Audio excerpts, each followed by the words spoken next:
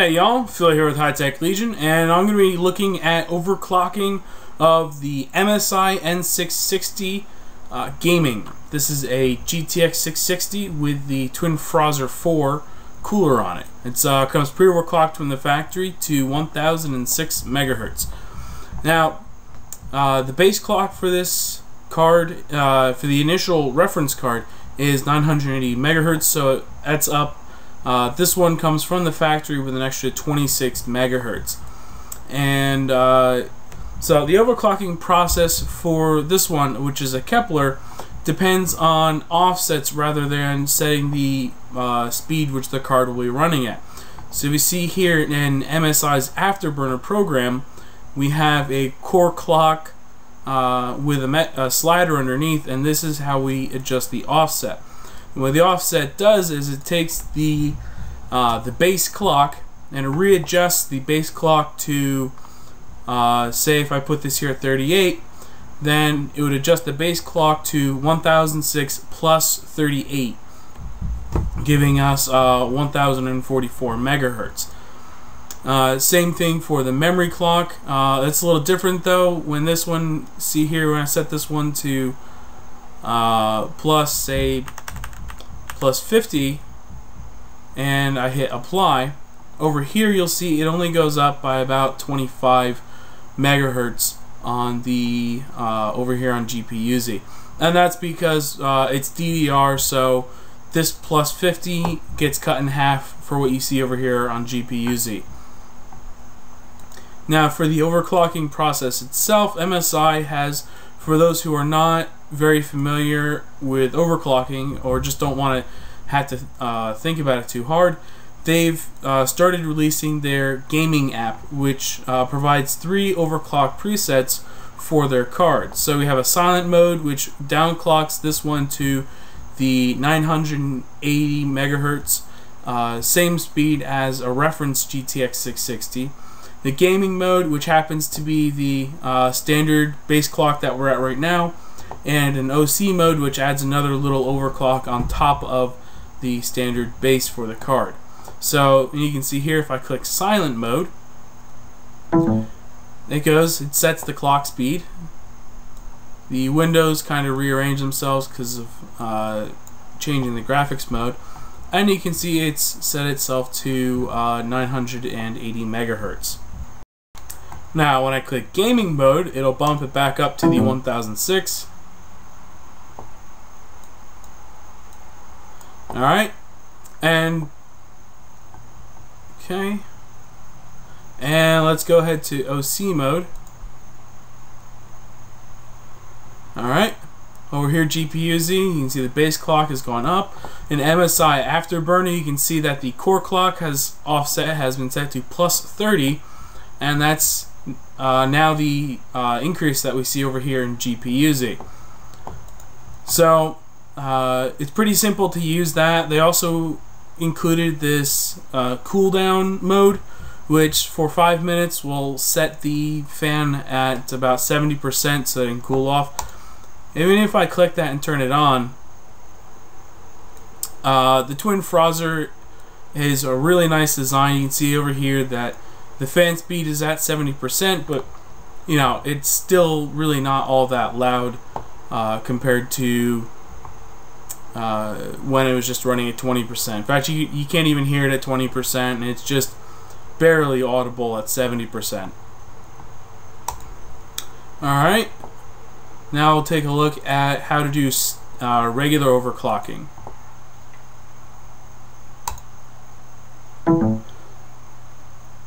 As you can see, when you exit out of the MSI gaming app, it removes the overclock. Alright, I'm going to overclock now using MSI's Afterburner util utility. And uh, go ahead and run Unigine in the background so we can see the clock speeds. Alright. Okay. Our sensor's running. Now, uh, when you're overclocking Kepler, it automatically boosts based on how much power the card is using. See here, we're only using 72% at this time. and the cards are only running at 1006 megahertz. If I bump the power volt up,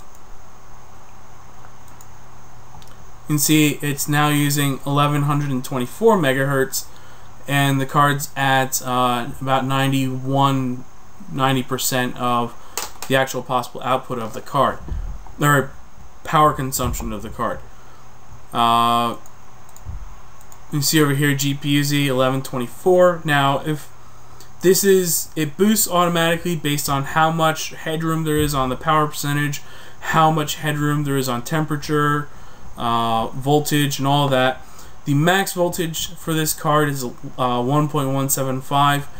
Uh, it can probably go a bit further, uh, but unfortunately, it's locked on this on the GTX 660s. Cannot be changed, so we'll just ignore that slider. Um, now, the power percentage here can be a little misleading because it says 91%, but really that total 100% is the combination of fan power usage, memory power usage, and uh, GPU power usage. So it says 96%, but that means we're actually running about a little over what the power limit on the GPU itself is.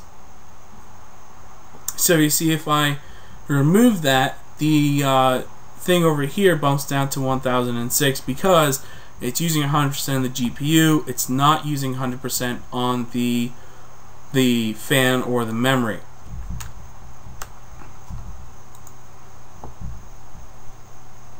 So, uh, so what we're going to do here is we're going to overclock. It's the same kind of philosophy as other overclocking. You make uh, rather large jumps at the beginning until you get to the point that you're unstable, and then you start making smaller jumps from your last stable clock speed.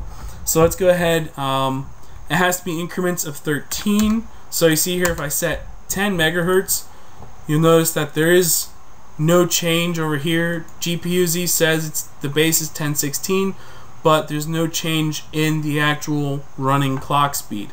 If I set it to 13, you'll see that over here, indeed, it went up to, this is up by 13, and now this is also up by 13. So you have to uh, units increase by multiples of 13. Let's make our first jump to 39 megahertz, which is 13 times 3. And you can see we have a matching increase over here, uh, both in GPU-Z and on our monitor program. Now, at this point, after you make each jump, you want to run a series of benchmarks. So uh, let's make the assumption that we ran through Unigine Heaven three times and uh, 3DMark a couple times, uh, and everything came out stable. So let's bump this up by another 3 units of 13, so that would be 78, or 13 times 6. Click Apply. Again, you can see the increase over here on Afterburner Monitor, and you can see the increase over here on GPU-Z. Um, so now we let that, you again go through your same benchmarks, increase again. So 117, apply, and you can see that it's all Unigine Heaven is instantly unstable at that speed. So let's bump it back down to 78, apply, start Unigine back up,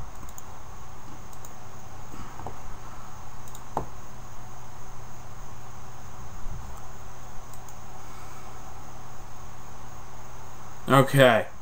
And then, so instead of going up by uh, 13 times 3, let's go up by 13 times 1, which would put us at plus 91 megahertz. Click apply, changes over here and over here, run through it, continue running through until you hit another unstable speed, and uh, whatever your last stable speed was, that's where you can set it to. Now you want to move on to overclocking the memory, so you want to reset set the core back to zero, and start overclocking your memory. Memory you can make much bigger jumps because it's already running at 3 gigahertz, well, really effectively 6 gigahertz. So you just set it to jump by 150, apply, run through your benches, set it to 300, enter, apply, uh, run through your benches again. You can see Here we go, we're up by 150 here, but remember it's DDR, so you gotta double that. So we're up by another 150 megahertz, apply. So, and also when you're overclocking, it's not just gonna be, uh, programs aren't always going to crash. You, Sometimes you'll just see like maybe this post would be at a weird angle or something, or something slightly discolored, wrong textures. There's any number of ways that you can have artifacts happening inside your benchmark to show that you're unstable.